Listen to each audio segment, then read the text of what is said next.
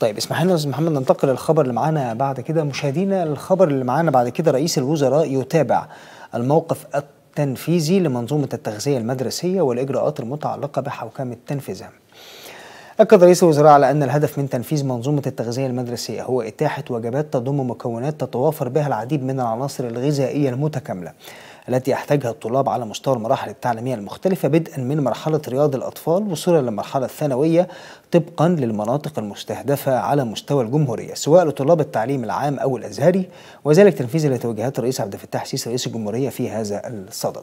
حضرتك محمد طبعا يعني زمان في السابق كنا نسمع عن الوجبة اللي هي العادية اللي زي ما حضرتك عارف ولكن صحيح دلوقتي صحيح. بقت محددة وموجهة إن هي كمان مش مجرد بس تكون وجبة بتوزع فيها المدارس ولكن كمان دي آه يعني زي ما الخبر بيقول يمكن فيها مكونات يعني تتوفر فيها عناصر غذائية مهمة.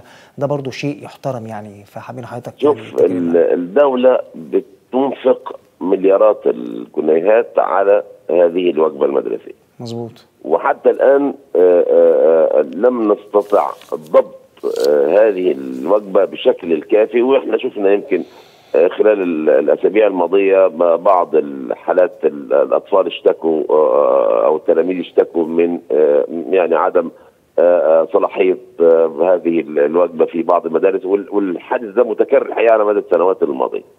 لذلك يمكن أنا كتبت أكثر من مرة بدعو إلى فكرة تسهيل هذه الوجبة إلى أموال بمعنى تعرف إحنا آه، أنا لاني بنتمي إلى قرية وعارف الاحتياجات المادية للقرى. وعندنا كمان ال- ال- آه، عمليات تسرب من التعليم ودي ودي برضو آه، معدلاتها مش مش قليلة.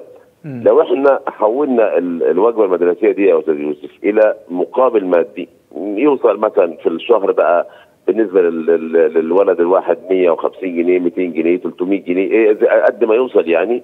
ويتم منح هذا المبلغ لوالد أو ولي أمر التلميذ. في نهاية كل شهر على آه، آه، آه، لا يغيب ال- ال- التلميذ عن المدرسة آه، مثلا أكثر من يوم مثلا في الشهر أو لا يغيب إطلاقا.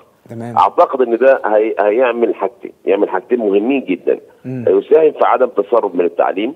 مم. والحاجة الثانية أنه آه، آه، آه، سوف يساعد ماديا هذه هؤلاء التلاميذ في المناطق الشعبية وفي المناطق القرى أنت بتتكلم على 4700 قرية في في مصر بتتكلم على 30 ألف تابع اللي هي العزب والنجوع بتتكلم على كثير من المناطق الشعبية أعتقد إنه آه، ال ال ال الأب اللي عنده ابن أو اثنين أو ثلاثة في ال- ال- ال- الدراسة المبلغ ده في النهاية من الممكن أن يساعد حتى في شراء ال- الكراريس والكشاكيل والأقلام وال آه، لو لو طبعا مشكلة الكتاب الخارجي يعني أعتقد إنه ممكن يساهم أيضا في آه، آه، يعني إصلاح العملية التعليمية وزيادة رغبة الآباء والأمهات والتلاميذ أنفسهم في ال ال ال ال ال ال الإقبال على الدراسة.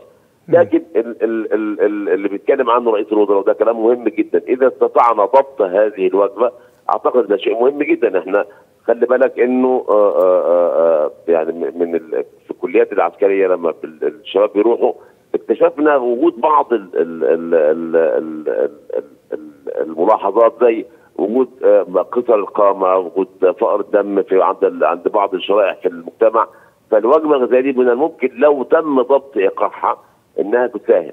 لكن أنا شخصيا بشكل شخصي أكثر ميلا إلى فكرة تسهيلها إلى مقابل مادي ومنحه لاهالي الطلاب والتلاميذ. وأعتقد إنه إنه ده زي ما قلت هي يعمل حاجتين يعمل نوع من الدعم المادي لهؤلاء لهذه الأسر. وأيضا يمنع التسرب من التعليم لأن الأب في المناطق اللي اتكلمت عنها في القرى وفي المناطق الشعبية سيكون حريصا إن هو بنفسه على أن يذهب بابنه إلى المدرسة لكي يحصل في نهاية الشهر على هذا المقابل المالي. مظبوط فعلا كلام حضرتك طبعا يعني جهد كبير بتقوم به ال- الدولة طبعا فيعني يا رب مزيد من هذا الجهود يا رب في الفترة المقبلة إن شاء الله